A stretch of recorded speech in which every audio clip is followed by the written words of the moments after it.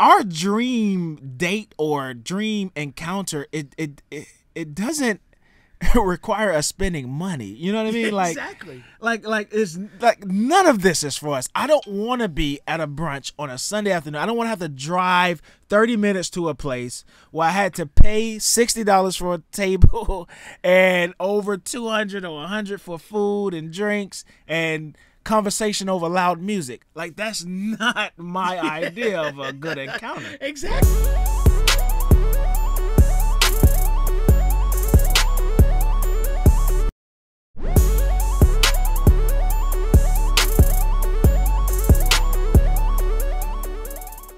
as I've been dating, right?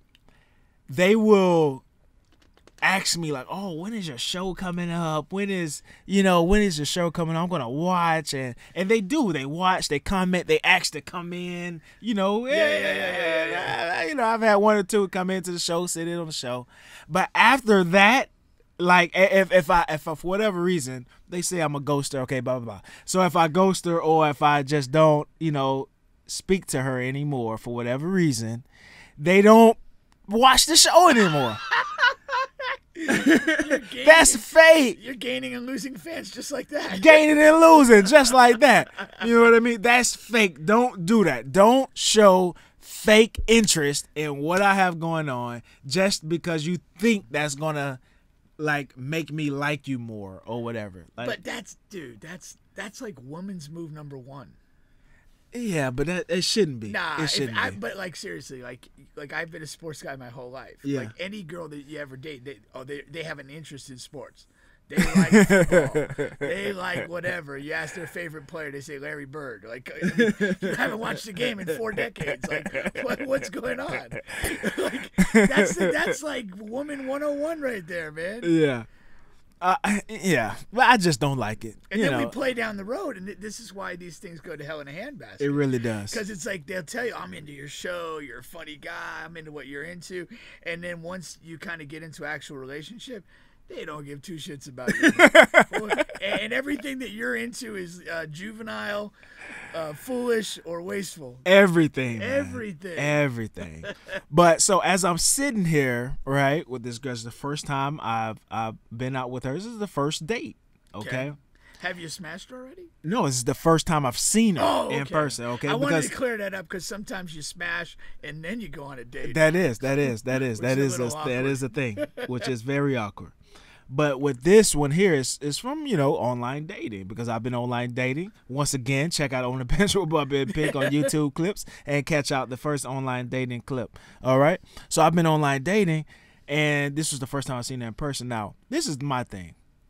How much is too much to spend on a first date? That's that's kind of that's that's really important. it's relative to your budget, I think. Yeah, yes and no, right? Because you know, even if you I have no concern of what the, they come back with how much it's going to be. But at the same time, you really have no idea if you're going to see this girl again, if you're going to, you know, go out with her, if you're going to have sexual relations. You really don't know. Yeah. Yeah. So, it should there be a hard cap on how much you spend on this first date? There should be. if, if there is a God, there would be. No, seriously, Seriously. yeah, we we kind of went this direction last week. It's like if you theoretically get nothing out of the experience, Right. so you you go on this date. It's sort of implied or expected that you're going to pay for whatever that is. Uh-huh. And if this is truly a first date, it may go right down the tubes, and you're stuck with a brunch bill Yeah. or a a big di- you know big steak dinner bill. And it's like you've literally got nothing for the Absolutely experience. nothing. and you literally wasted your time like talking to some person that's just like a vapid imbecile. I mean who because knows? because he- he- here's the thing that I, I don't think they understand and I wish we could have got you know sometimes you wish you talk to a person and you really wish they would understand what you're saying but they just never do. And I wish Ludwig would really have understood where we we're coming from. Because Okay. listen when you're when you when you're going out we have this is not for us.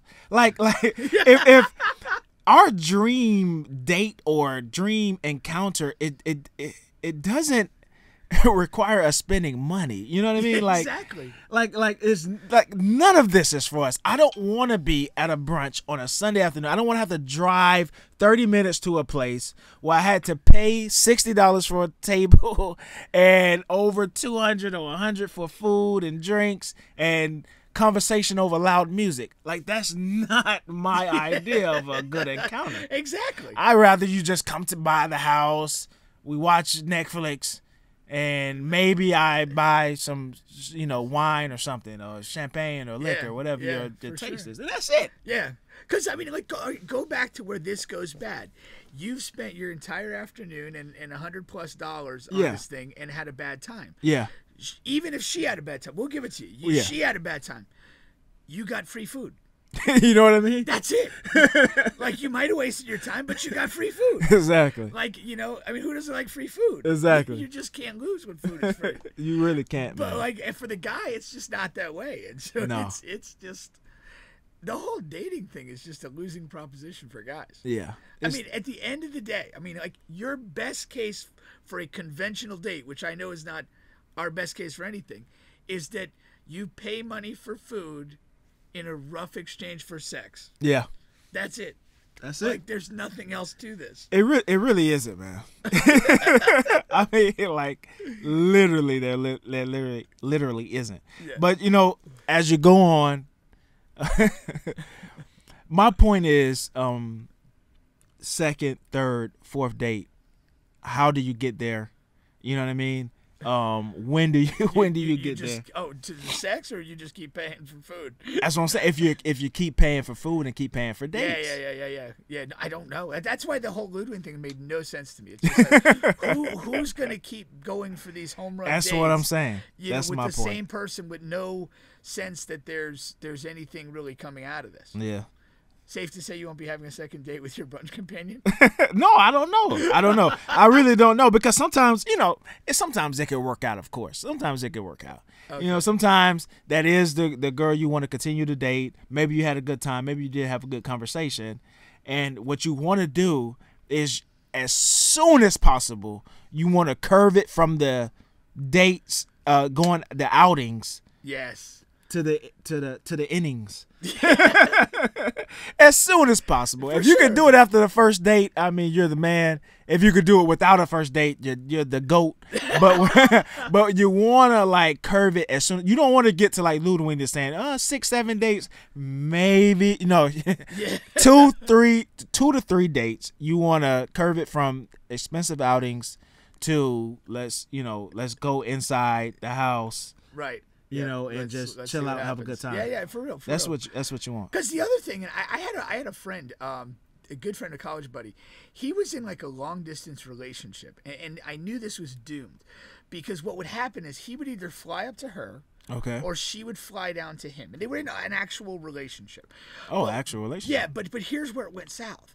When they would fly up and see each other, they typically go to like a hotel and eat like the nice dinners and do that sort of stuff. And so it created this really unrealistic relationship. Right. Like when you're actually living together in the same city, living under one roof, you know, you're not at these hotels like this. You're not out to steak. You know, sometimes somebody's making, you know, freaking pasta or Exactly. something at the house. You're ordering a pizza.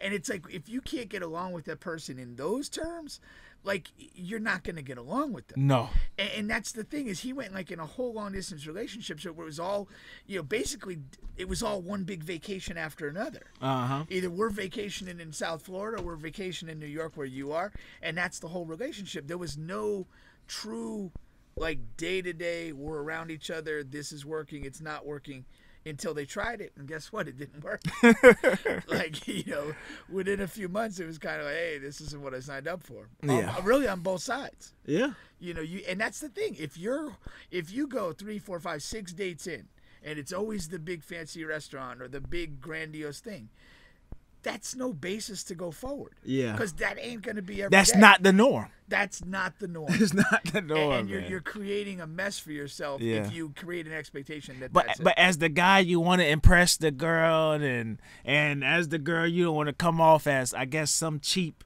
you know, hooker or whatever the case may be. so it's like everybody's trying to fool everybody, And really, you know, you just you really should just be completely honest. Right, right. And that's what I have adopted.